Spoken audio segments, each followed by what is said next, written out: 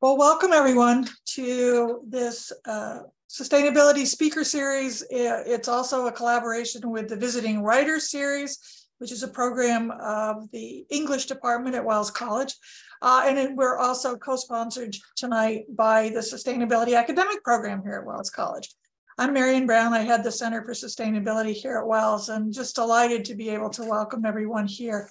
This event is uh, co-sponsor or is co-hosted by those three groups, but we have some underwriting sponsors as well who have made uh, Aya De Leon's uh, appearance possible.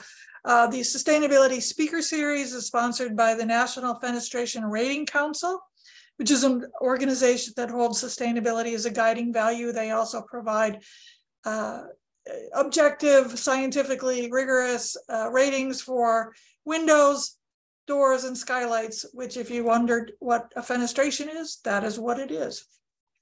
The Visiting Writers Series is supported by Wells College, the New York State Council on the Arts, the Mildred Walker Fund for Fiction Writers, and gifts from the college's alumni and alumnae and other friends and supporters. So we thank our underwriters uh, for this, for making it possible to bring to you Aya De Leon, who's an award-winning author, activist, and speaker. Through her speaking and writing, Aya expertly explores the intersections of race, gender, socioeconomic status, and climate justice. She's published several novels for adults, young adults, and children that examine racial and social identity and its connections to climate justice. She currently directs the Poetry for the People program in the African American Studies Department at UC Berkeley, teaching poetry, spoken word, and climate writing. Uh, and for those of you who got a chance to uh, attend uh, masterclass at five o'clock, uh, we learned a little bit more about uh, all of that process, which is great. Since 2021, Aya has been organizing the Black Hive, the climate justice formation of the Movement for Black Lives.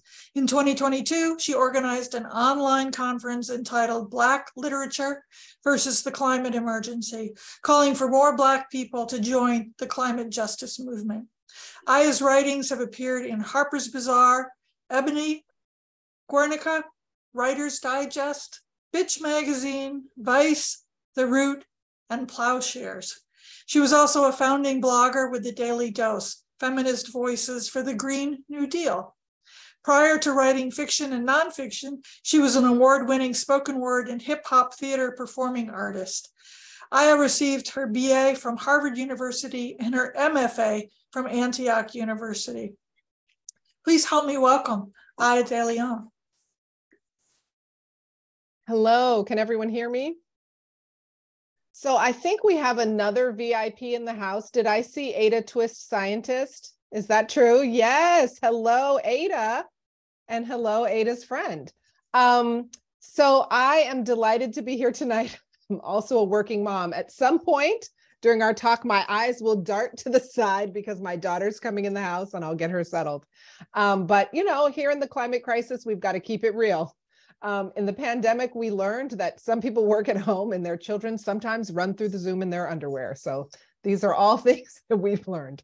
Um, so it's just really exciting to be here today. The masterclass was just such a good conversation um, about writing and really kind of about propaganda. You know, what what is it that we what is the message that we want to get out there? Oh, one uh, minor correction I just need to put in for the recording lest anyone uh, get their get the the articles and the prepositions wrong. I don't organize the black hive. I am an organizer in the black hive and the black hive is a network of many many organizations and organizers. Um, and uh, yeah so uh, which is part of the movement for black lives. So i'm going to talk a bunch about um, about climate and in particular about the climate crisis. And I'm going to talk about it intersectionally um, in terms of how it, wait, hold on. I'm figuring out my Zoom, people. Um, in terms of how it uh, intersects with issues of racial justice. Okay, I think this is what we're doing. Yes. View slideshow. Oh, and I lost my light. but you can still see me, right? Excellent. See? And for that, you can thank the sun. Okay. So I'm going to, it's because I'm in California and the sun is still up. I'll figure out when I need to fi fix my light. Um, so I want to talk about the climate crisis. And um, one of the things that I think is important if we're going to talk about it intersectionally is to begin by talking about the climate crisis isn't something happening in the future. Um, this is especially true for front, frontline communities. People of color in the West and the global South are being devastated now. Um, in particular, racism, anti-Black racism, anti-Indigenous racism, and climate justice are intertwined. As Varshini Prakash, one of the co-founders of the Sunrise Movement said, if Black lives mattered, we wouldn't be in a climate crisis because the US would have changed its policies after Hurricane Katrina because the level of human suffering and life lost would have been unacceptable. But as the Movement for Black Lives says, we will not sacrifice Black lives or accept false solutions that per perpetuate unjust social and economic systems. Climate justice is racial justice. Um, so while millions of people are suffering and dying, there are really only about 100 companies who are causing and benefiting from the climate crisis.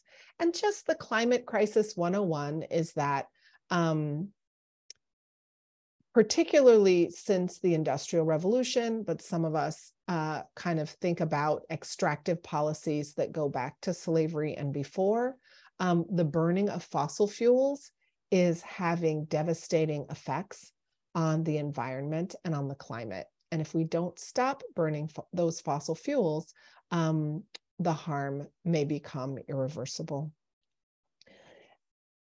And so while millions of people are suffering and dying, only about 100 companies uh, cause and benefit from the climate crisis. And we need to build a mass movement for climate justice and build the people power that will force those companies and policies to change and to create climate solutions that work for everyone. So, as Black people, it's important to make the connections between the need to shift priorities and resources. So, for example, while for many years people talked about police reform, more recent and more radical visions are about defunding the police, right? Actually taking the resources from militarizing the police and having the police driving around in these fossil fuel cars and putting those resources into the communities to address the root causes of crime and the issues that make communities less safe. Because um, for so many people, we really would prefer to have tools and resources to de escalate crime and conflict in our communities than having folks who have been trained to use deadly force breaking down our doors. Um, so these are really important connections to make. For climate, we have a short window before our carbon emissions of today will lock in a domino effect of climate disasters for centuries to come. But scientists are also 100% certain that if we make big changes, we can save the planet. The large, the latest info I have is that if our fuel if our fossil fuel emissions can peak by 2025 and we can cut them rapidly after that, we can ensure a livable future. Now, the problem is that this information is not widely known because there's a nasty rumor going around that we've already lost. We live in a world where societies systematically traumatize and oppress us. Um, molding some of us to dominate and others of us to accept domination. But this is our conditioning and not our nature. And now is the time to fight to reshape our world into and according to the deeply human traits of empathy, generosity, and justice. This is the battle of our lifetime and the biggest battle our entire species has ever faced.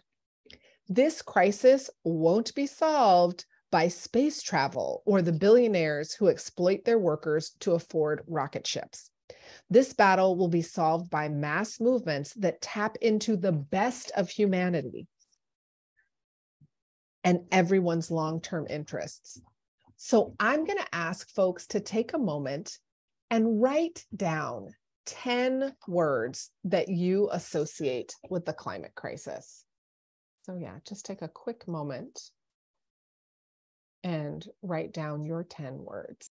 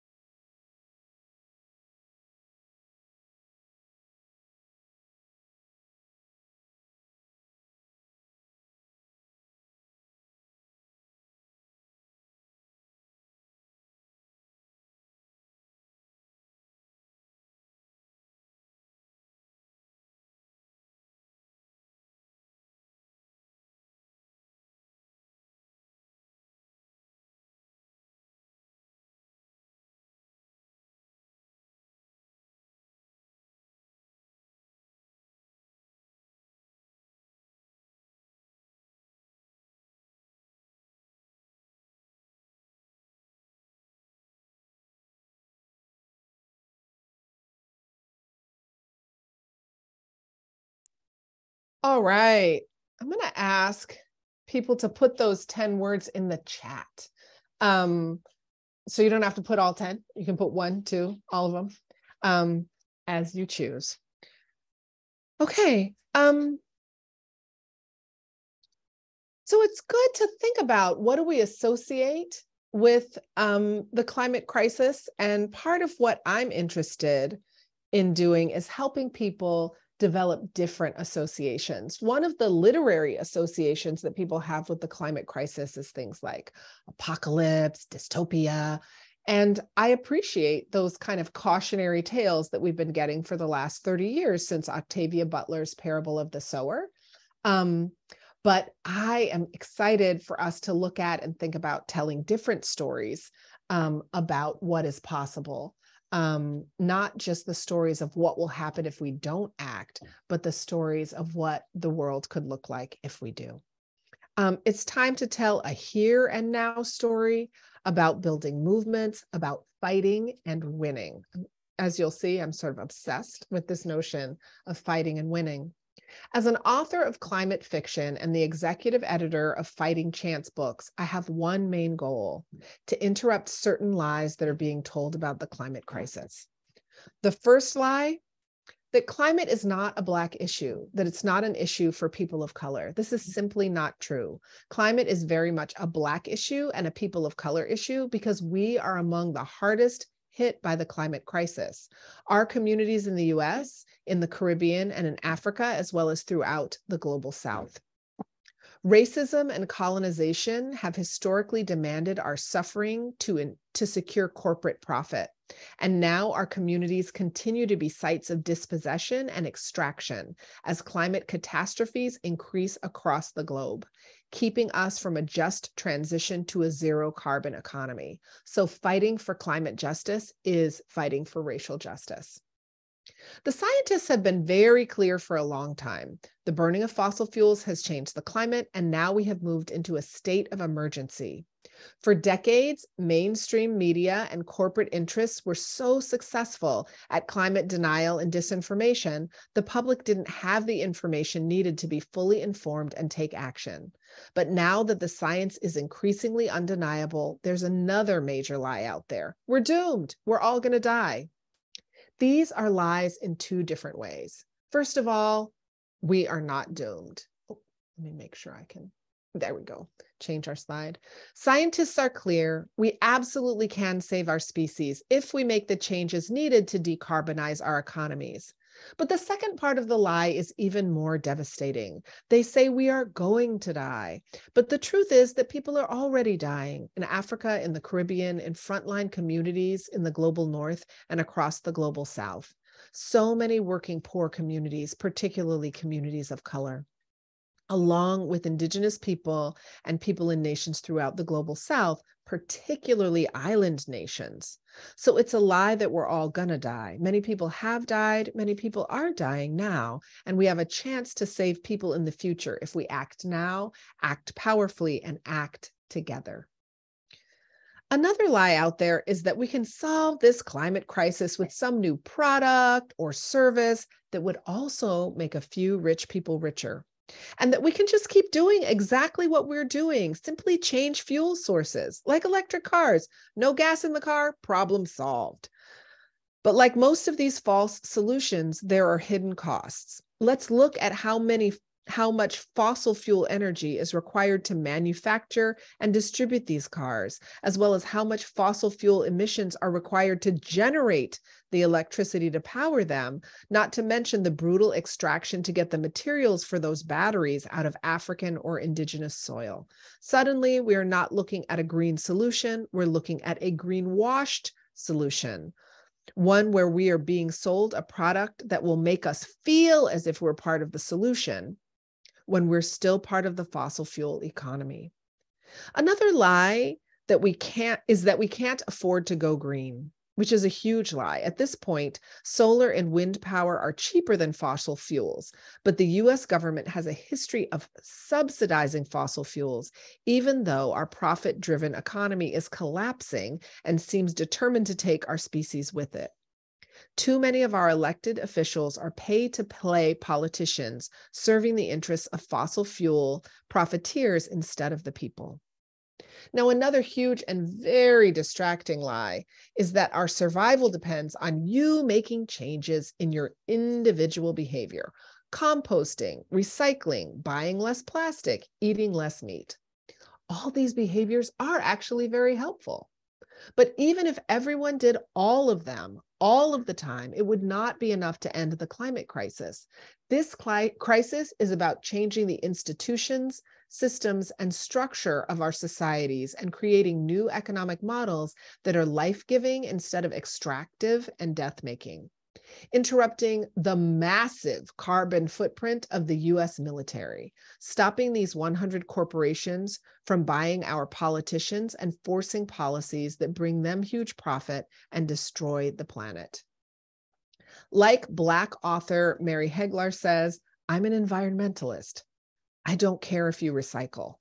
We need to stop thinking that our contribution to saving the planet is going to be making individual consumer changes, or worse yet, shaming or berating others for the individual consumer choices they are or are not making.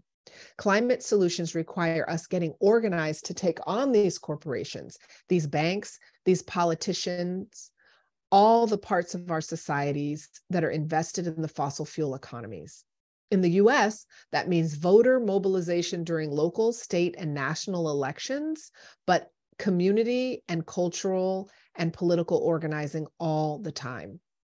Now, in this conversation, I focus a lot on the United States because we are the problem, our political leadership and our corporations when I think about Black people, I think about how Black people in the US are strategically positioned to make the biggest impact as voters and organizers of Black people worldwide. But our perspective must always be international. We move forward in solidarity and conversation with Black sisters and brothers and siblings from Africa, the Caribbean, and worldwide. Another critical lie is because we haven't ever built such a big movement in the past that we can't do it now. This speaks to how we are in the midst of another crisis, a crisis of imagination. According to climate literature visionary Octavia Butler in 1990, she said, What we don't see, we assume can't be. What a destructive assumption. Unquote. Many of us are unable to imagine a society that isn't organized around corporate profit and run on mass consumption. Without an ability to imagine without an ability to imagine anything else, they're resigned to just keep driving the society we have into the ground. Um, but I love this quote um, from a wonderful video that maybe some of you have seen for the Green New Deal that was uh, done by Naomi Klein, Alexandria Ocasio Cortez, and Molly Crabapple at The Intercept. And it has this wonderful quote We can be whatever we have the courage to see. And to spark that imagination, we need to begin telling new and different stories. Um, so, in my day job, which I'm taking some time off from this year, um, I teach at UC Berkeley and I run the Poetry for the People program, which was founded by June Jordan in the early 90s. And what June said um, back in the day, she always asked her students about the purpose of their poems not the subject, the purpose. So, as writers thinking about strong active verbs, she wanted the students to think about not just what they wanted their poems to be, but what they wanted their poems to do in the world. So, I've been thinking about that myself. And for me, as a writer, it has meant writing novels about women of African heritage, living in the here and now, going about their business, and being impacted by the climate crisis then deciding to get involved in the movement for climate justice and realizing that the climate issue is their issue because the climate issue is actually everyone's issue. So this is uh, the cover of my latest book, That Dangerous Energy, um, which is yet another one of these stories of a Black woman going about her business and finding herself politicized and caught up in the climate crisis. One thing that I uh, have really appreciated has been um, one of the communities that I'm part of that works on intergenerational trauma. And one of the things that they talk about in the work on intergenerational trauma is about how one of the biggest obstacles to people becoming active around the climate crisis has to do with trauma.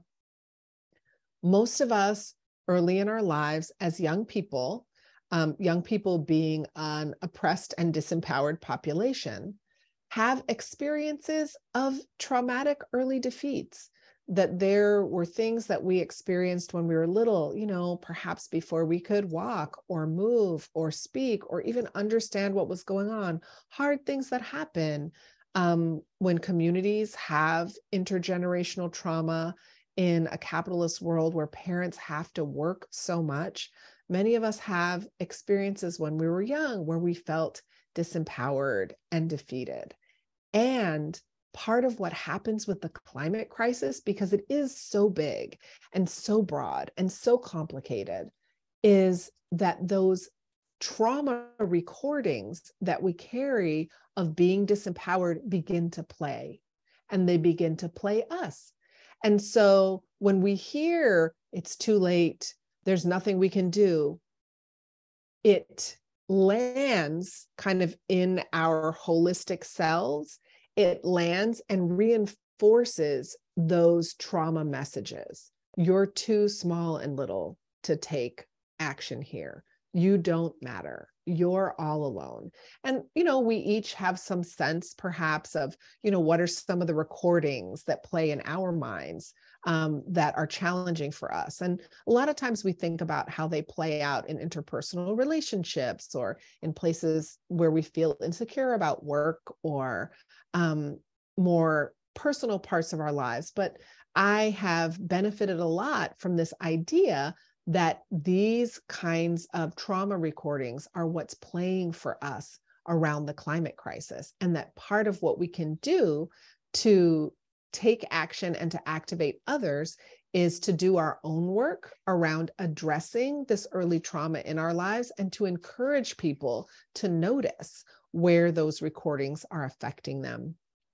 So these are some lies um, that have to do with what keeps us from taking climate action.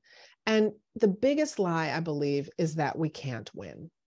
Um, what better lie to tell us to get us to give up before we even step into the fight? History has shown us that every time even 3.5% of the population gets involved in a nonviolent movement, that we can win. And by the way, that statistic comes from the very fringe and radical uh, organization, the BBC. So that's not, you know, that's not some fringe perspective. That's actually a very mainstream Western perspective. Um, and the truth is that very, very few people benefit from the climate crisis. And the vast majority of people have everything to lose if we continue on the path that we um, are on, and everything to gain with a just transition to a world that's more equitable and a world of climate justice. And building that mass movement won't be easy. It won't be painless. It won't be perfect, but it is completely possible. And our lives and our futures depend on it. So I encourage all of us to look at um, what that messaging is that we carry around climate and climate justice. What are what is the lens that we're looking at through at the climate um, situation, what is the despair or hopelessness that we may be carrying with us, and what would it be like to let some of that go and to look at the climate crisis from a perspective of hope and possibility with the idea that, you know, as June Jordan said, we are the ones we've been waiting for. So I want to stop my share so I can see the chat. It's po- perhaps it's possible for me to see the chat without doing that, but I am not savvy enough. Okay, great. So um, I'm going to give you all another 30 seconds to add anything else you want into the chat, and then I will check it out. Thank you.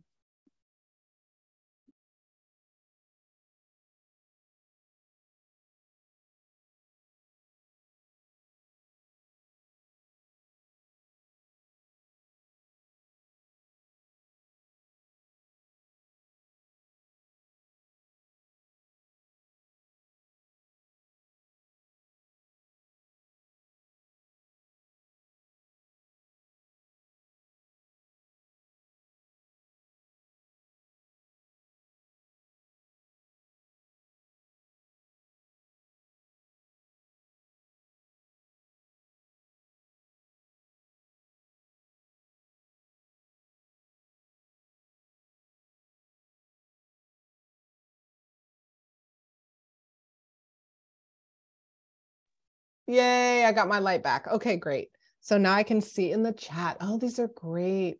These are powerful words.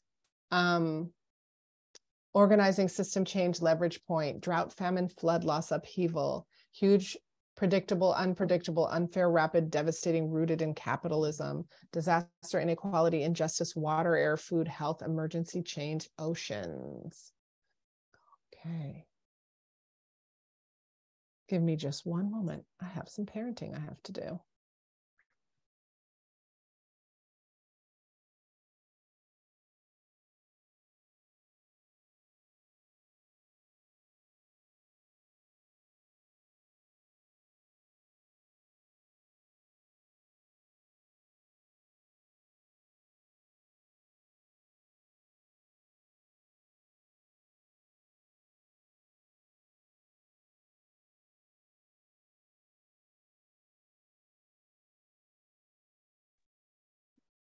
Oh, parenting. Speaking of unpredictable, um, so let me actually open it up and see if I have a couple of comments while I handle this challenge.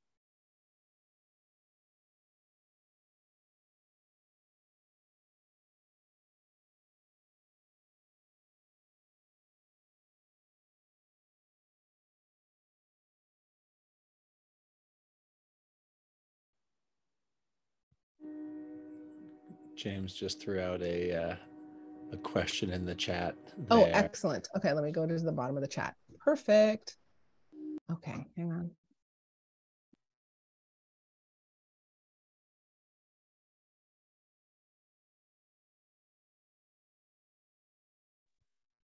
Awesome. I'm wondering, Aya, if you might give some other examples of contemporary narratives, fictional in particular, that are steeped in the kind of hope and op- optimism you're uh, replicating in your own creative work. Yes, I'd love to. Okay. Um, so one of my favorite books that I think really um, straddles the two worlds um, is very much coming out of sort of sci-fi fantasy dystopia, but also um, stepping really solidly in, you know, kind of envisioning a different world, solar punk, hope punk, is Sim Kearns's book, Real Sugar is Hard to Find, which I will put in the chat. Um, it's a collection of stories that I um, really, really loved. In particular, the final story, which really is envisioning a future um, where we make the changes we need to make. It was really, really lovely um, and powerful. So that's one. Um, another one that I really loved for young readers is the first rule of Climate Club by Carrie Firestone. Um, and, uh, you know, that was a middle grade. Um, and these, uh, while Sims is more, you know, kind of a little bit futuristic, Carrie Firestone's is very kind of contemporary realistic. Um, I also um, love Julie Carrick Dalton's uh, Waiting for the Night song. So um, that one's less climate activism and more sort of environmental, um, having to do with climate. But you know, these are all some books that I really have enjoyed, and there are many, many more. And I, the ones that are better known are the ones that are more. Um, the ones that are better known are the ones that are more literary, um, and these are, um, you know, more genre, more popular. Um, the waiting for the night song is um you know kind of a thriller um and uh yeah. And then the books that i write um starting with the last book in my justice hustlers series side chick nation are you know not just thrillers they're like romantic thrillers. You know i'm writing these sort of sexy page turner beach reads that are very much written for the masses with kind of really mass appeal sensibilities, but have these heavy kind of politics. Um, Inside Chick Nation, which was the first novel published about Hurricane Maria in Puerto Rico, um, Naomi Klein wrote a nonfiction book about uh, the hurricane in Puerto Rico, and I my thought was like I wanted this to be like for this was about Hurricane Maria for those folks who weren't going to read, you know, Naomi Klein's nonfiction book. This was for the readers who, you know, wanted their um, anti colonial and climate justice politics sort of wrapped up in something like you know sexy and fast paced so that's what i'm that's what i'm doing over here. How would i rate the resisters by Gish Jen i haven't read it. I'm sorry. One of the things that's so uh, I've written a lot of books in the last 10 years. I can't say I've written more books than I've read, but my I've spent more time writing books than I've spent reading them, uh, which is a bummer because there's so many good books out there. Um, and I, um, you know, but it's on my to be read list. Um, other questions? Let me look. Um, oh, yes, question. Oh, thank you, Dan, for the bookshop link. The bookshop link. Um, we love Bookshop. Thank you for the Bookshop link for Real Sugar. Um, uh, so Vic is asking, have I thought about writing children's books? Yes, um, I've written a number of children's books.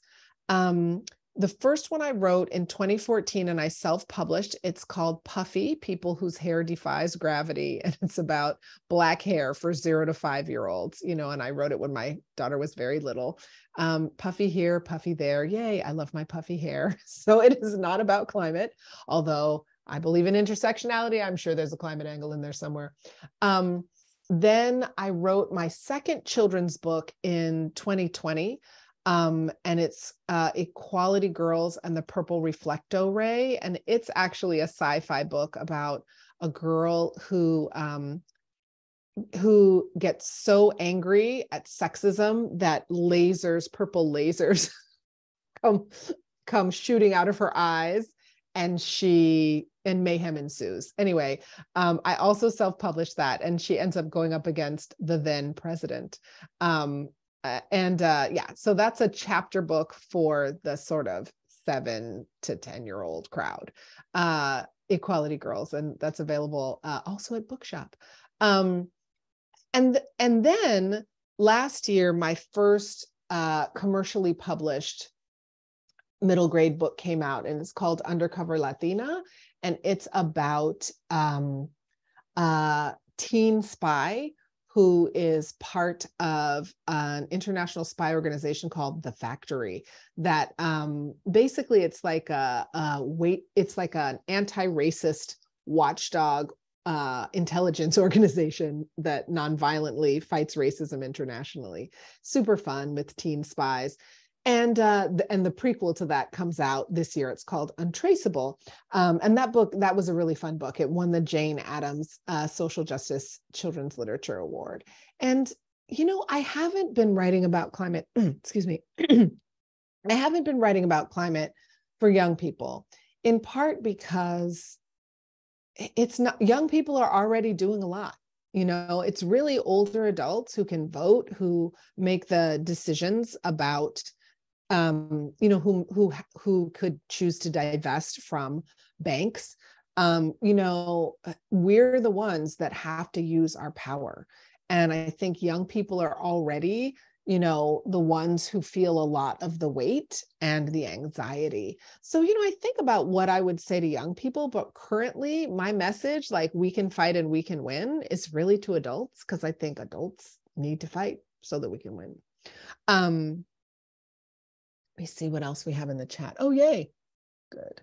Um so let me go back and uh thank you for your patience as i parented. Um where were we? Yes. Um, disaster, inequality, injustice, water, air, food, health, emergency, change, oceans, despair, heat, cold, pollution, injustice, greed, short sightedness, refugee, myopic, avoidable, resilience, colonialism, capitalism, frontline communities, grief, anger, fear, melting, green, renewable, ozone, underwater, panic, denial, unpredictability, scary, no snow, drought carbon, solar, politics, alternatives, sea levels, nihilism, blinders, will, denial, health, displacement, severe weather, hunger, unpredictable. Yeah, these are great words. And I loved, you know, I think one of the really important things that, you know, my peer counseling community has taught me is that we we we have to actually feel the grief. We have to actually feel the rage. We have to actually deal with the emotions. We can't just pretend on top of it, like, oh, well, it's going to be fine. You know, we don't want to be Pollyannish, um, but we also don't want to slip into the despair. And for me, it's been really important to feel the grief. It's been important to make the connections between the grief and panic and anxiety that comes up around climate and how that connects to early trauma in my own life so that I can sort of heal what happened a long time ago and see the truth of today, which is we don't know what's going to happen, right? We don't know. And this future that we're creating, this future that is unrolling, we have the power, not as individuals. None of us is like, wah, ha, ha, I have all the power. But as a species, we have the power to take the collective action to change the trajectory that those who are currently in power um, have us on and that really is my message that you know we have this power and you know it behooves us to figure out how to use it dan you want to jump in um, yeah i think this is great. I just i keep thinking about um, sort of the, the audience for this message that you're that you're offering and um, feel very much a part a part of that audience. And i imagine everyone on this on this uh, call right now probably feels similarly. And i was just wondering if you've if you've thought about um, or had any experience trying to trying to reach people who are not just feeling despondent but are like actively opposed to this message. I'm thinking you know the the people who would deny that there is a problem like that the population that often feels to me sort of unreachable through the rhetorical devices that i have at my disposal. Like have you have you navigated any of that? What a great question. So here's the thing. Here's the thing for me. I i have made a decision to be an organizer and part of what that means is that I want to work with people who are moving in a direction, who want to move in a direction, who um, are persuadable to move in a direction. And, you know, I think that there are a lot of people who, you know, really don't see that this is important for them and don't believe that it matters. And, you know, it isn't to say that I only want to work with people who are already 95% there and just need a little push, right? Like I want to work with broad, you know, kind of with a broad spectrum of folks. But I think one of the things that happened in our society in um, kind of 2016 was there was just this sort of obsession like how can we uh, you know and so this was had to do with you know kind of maga folks like how can we understand them? How can we engage them? How can we fix this?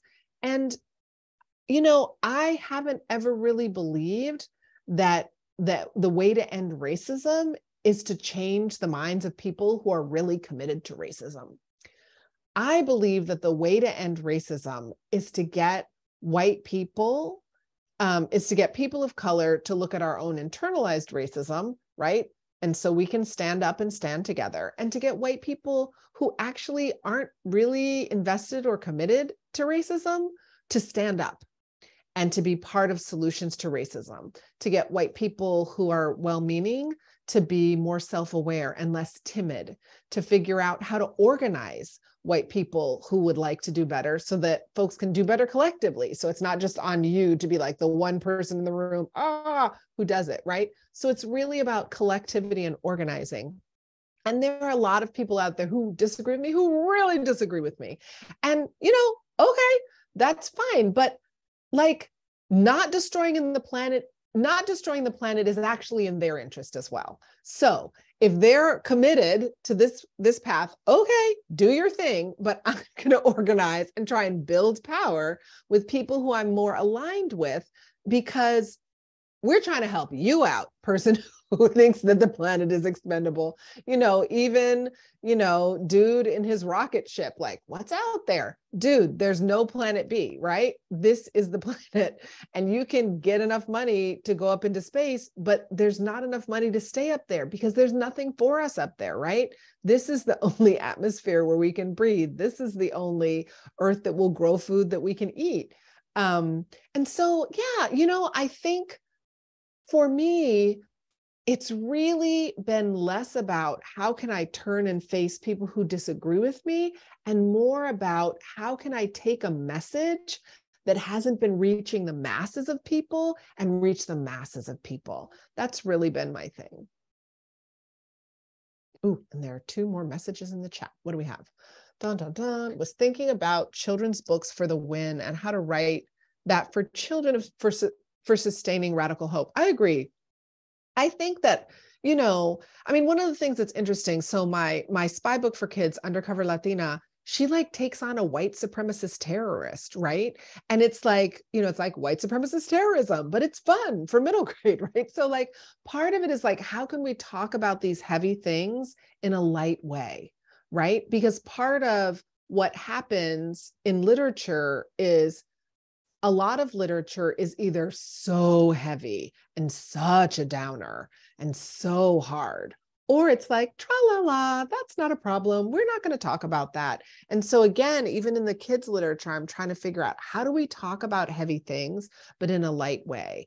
You know, like in the chapter book, Equality Girls in the Purple Reflecto Ray, you know, it's talking about sexism. It's talking about sexism for girls. There's like this beauty pageant, right? And the girls are like going into the beauty pageant and like figuring out like how is it fun and light? And of course this donald trump type character comes to like judge the beauty pageant and you know he's part of the shenanigans. So like how can children and young people envision themselves as powerful? Like i'm writing about teen spies because spying is incredibly powerful. And how do we um how do we create stories where young people can see themselves as powerful? Young people can see themselves as the solution um, other question. I'm wondering if you would mind talking about the role that your parents as artists had in maybe limiting that early trauma or not that you were discussing before that tends to kick in for us when social political challenges feel too large and like a lost cause, or maybe how you try to limit that trauma in your own children's experience. What a great question.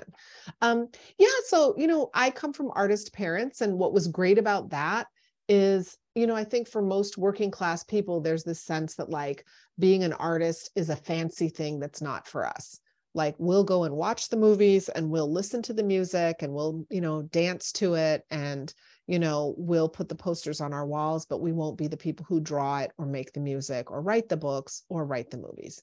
Um, so that was really useful for me um, in having parents who are artists. So i didn't have that sense of you know i've certainly had a little bit of imposter syndrome but from the beginning it was like yep i come from an artist tribe. This is for me. And that was really quite a privilege and a gift. Um, to not have to go through what so many artists go through, particularly working class artists, women, and people of color.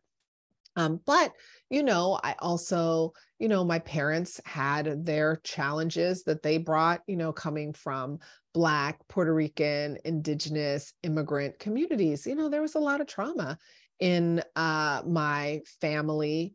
Um, and, you know, my parents did their best to keep uh, to do harm reduction on you know how much of the trauma would impact me but i was definitely impacted. And so you know i did a lot of therapy. I did a lot of personal healing work in my 20s and 30s and 40s and continue to do it um, and that was really important. And you know trying to break certain intergenerational cycles was really important. And i've you know i think that's what i would say just breaking different cycles of intergenerational trauma um, trying to break them before raising my kids, you know, my kid um trying to do it differently while raising my kid so imperfectly. Oh my god parenting is the most imperfect thing i've ever done you know and that's what it is. Like you do your best and oh it's just not enough and it's imperfect and it's a mess. And you know then you get to work on your feelings about that and figure out how to support a young person.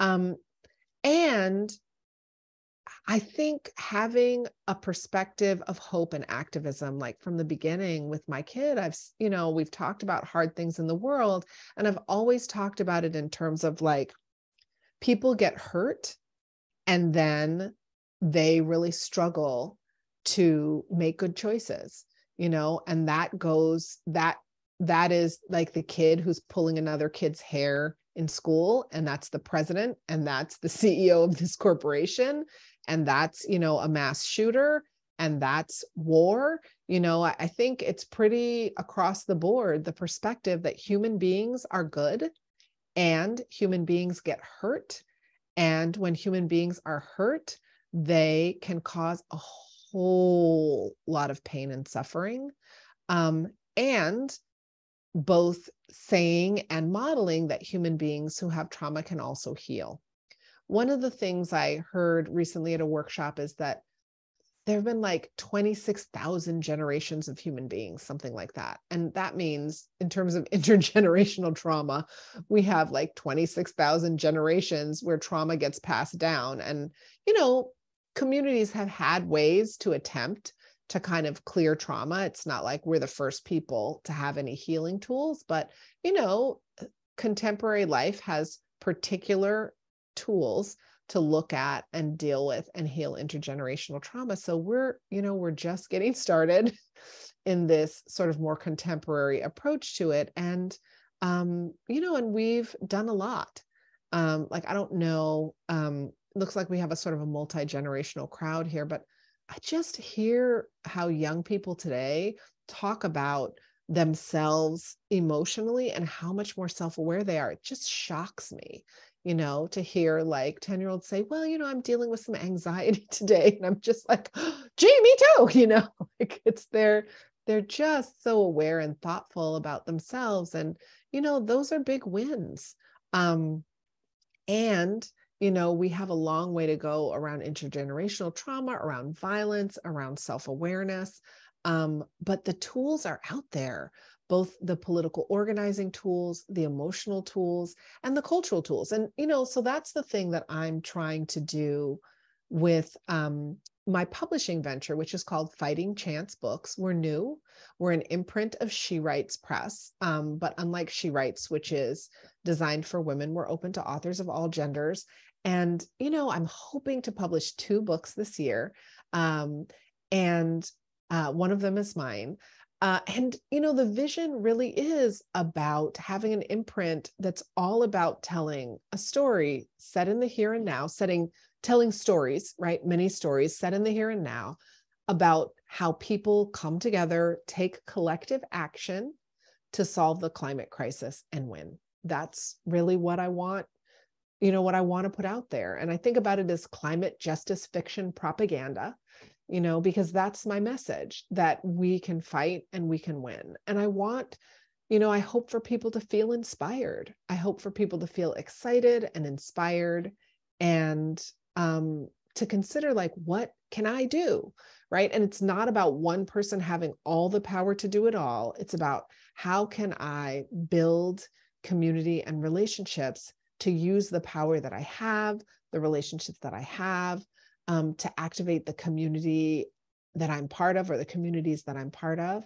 for a mass movement and you know it's it's not easy those of us who are part of it now, and it's not going to be easy. And race and racism has been a huge obstacle, but I, I'm excited at you know the kinds of um, at some of the kinds of shifts and progress we're making. One of the things that is amazing is to see, for example, the work coming out of Barbados with the Prime Minister of Barbados, who is taking these incredibly bold stands and making these incredibly bold, um, taking really bold initiatives around climate um, really, really big ways in terms of international finance. Um, that's Mia Mottley's work, the Prime Minister of Barbados, you know, leading the global South in terms of thinking differently about how international finance can work um, to shift uh, things in really big ways at scale around climate. It's exciting. Um, I was excited to be with um, you know, to be part of some of the organizing with the Black Hive um, to stop some really terrible climate legislation that almost went through more than once, you know? So there's just a lot of work, a lot of fighting going on out there. And my message to everyone is like, figure out where you fit and participate, get involved. Other questions, thoughts, comments?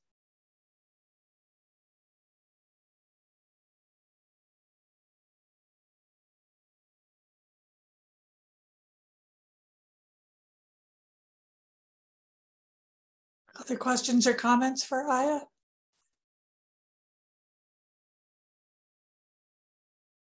I'm to see if I can find, God, I feel like I sent it to someone. See if I can find that. Um, maybe it's here. That um, it was a new, well, here's what I'll say. It was a New York Times podcast after COP27 um, that had to do with Mia Mottley's work in Barbados. And I can't, uh, if I can't uh, pull it up quickly, it's like December 5th of last year. Um, if I can't pull it up quickly, then I will encourage you all to look it up because it was so inspiring in terms of thinking about. Um, Did I just throw it in the chat there? Yes. Da da da. Beautiful. That's the one. It's so good. Wait, what I do? Great.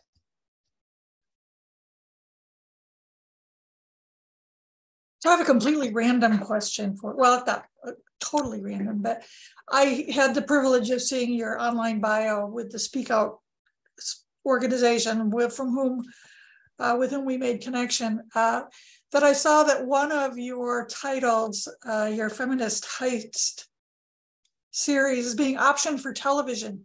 Ah. So if you had control over casting the role, who would you like to see as your heroine or heroines? Oh my God. Well, uh, so the first thing I have to say is um, Yes, my so my Justice Hustlers series, it's a feminist heist series set mostly in New York City. Uh, four books so far, and the last one is Side Chick Nation, which uh, was my Hurricane Maria book. Um, and that was the one that got me optioned. As of now, that project isn't currently moving forward, but it might move forward. We worked on it for a while and we got close and all the things. Um, but it's not dead in the water. It's just for various, I learned a lot about Hollywood for various reasons having to do with Hollywood. It's not moving forward at this time.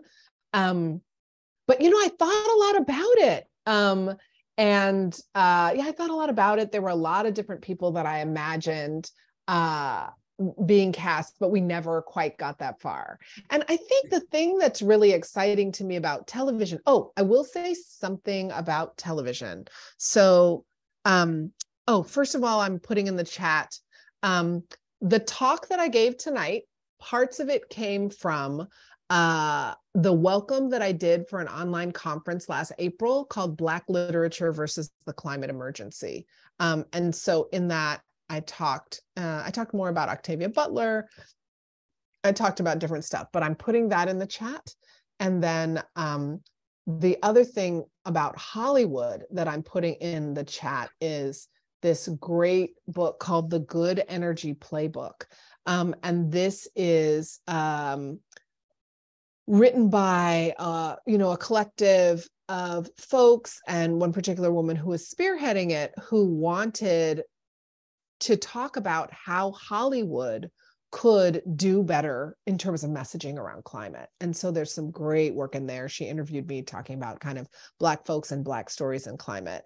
Um, and at the time, you know, I was working on trying to get some climate um, content into the pilot that we were working on for uh, the Justice Hustlers. And sadly, it did not, you know, it didn't go at the time, but it's it's not dead in the water. And I think Dan, I think you were saying um, you had asked about, I have this like um, entertainment franchise that I wrote something for.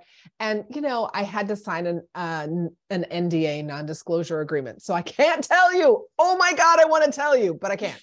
but what I will say is, you know, it'll be announced later this year. And, you know, when I got asked to write for this entertainment franchise, one of the things for me that was sort of a, a deal breaker um, or something I was just going to fight like hell for was to be able to tell a climate story because this is going to be the biggest platform I've ever had. And it was really important for me to tell a climate story and to have some basic climate messaging like it, you know, it is still possible to win and it's not, and greenwashing is not going to be how we win and it's got to be the people fighting.